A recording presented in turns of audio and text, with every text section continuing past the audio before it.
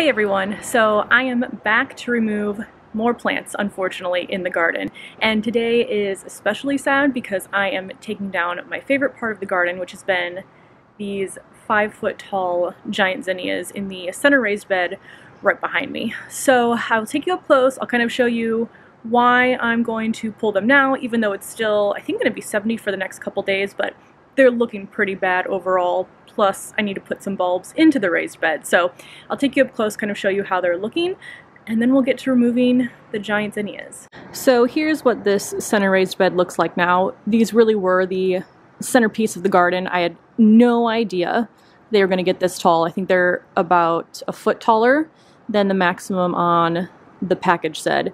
Um, and like I mentioned, we do still have a few warm days, but I need to get this whole bed empty and ready for tulip bulbs. I'm also going to be planting bulbs in that bed where I just recently removed the gomphrena. Uh, let me take you up a little bit closer and just kind of show you the status of the zinnias themselves. So you can see here, I mean, a lot of the lower leaves are brown and dead. The leaves that are still sort of green have brown spots and powdery mildew. So overall, I think it's just time to go, even though we still do have plenty of pretty bloom. So what I'm going to do is, first thing is cut off all the flowers that still look good enough to use in a vase, and that'll be my official last zinnia bouquet of the season.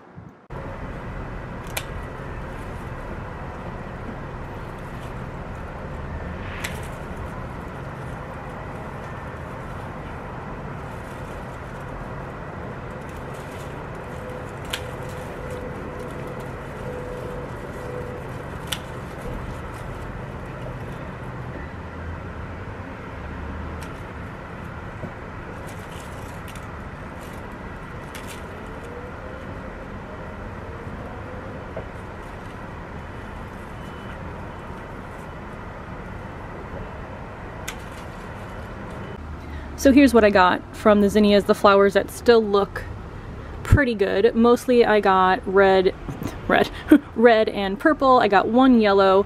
Uh, the four colors I had were red, purple, yellow, and orange. Uh, for some reason the yellow ones were the first ones to go bad. Most of the blooms were already turning brown in the petals. Uh, then the orange ones, but the purple and the red were still doing pretty well. So I think I'll definitely have enough to make one last zinnia bouquet here. So next what I need to do before I start chopping down the entire plants are to pull these trailing plants that I have right here. So these are just some sweet potato vines that I got from a local gardener. I think I added them at the beginning of September um, just to get some more color when I pulled the Supertunias and they did grow quite a bit just over the last month and a half. Again, it's been abnormally warm, so that's definitely helped to extend the growing season a bit here. So I'm going to get those pulled, same thing with the mums and then we'll get to chopping down these big boys.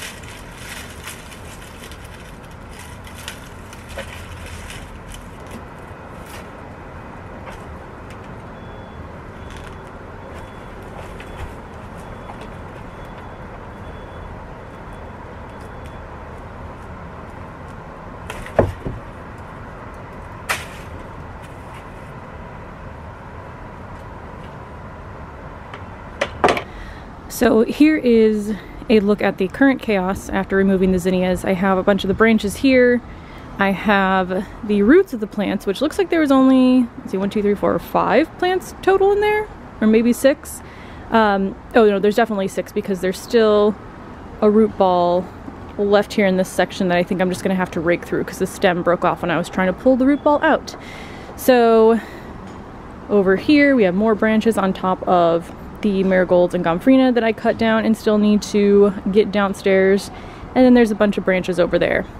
I did leave the two marigolds in here for now, or not marigolds, the two mums in here for now because I feel kind of sad now that the bed is empty and they still look pretty good. I think they just started blooming a few days ago, maybe about a week ago. So I'm gonna keep them in here for now. Once I do start putting the bulbs in this bed, I will pull them, but I definitely need to rake through, break up the roots, pull out any of the larger root clumps that I see so that the soil is ready for the bulbs.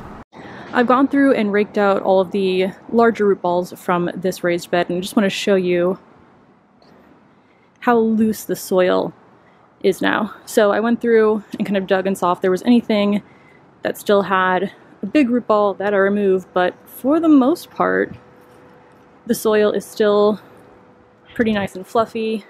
You can see that even with pulling those plants and the root balls, I mean, those root balls are pretty big, the overall volume of the soil is only like, I don't know, I'd say three inches below the lip, so I'm not going to have to add too much new soil. But the plan for now is I'm going to put some compost onto this bed uh, just to get it ready for bulb planting, and I'm going to do the same to this bed over here. Also, can you just see how much of a mess the garden is right now? I feel like when you're in that transition period of kind of putting the garden to bed for the season, it's just a complete mess for a few weeks until you get it all situated.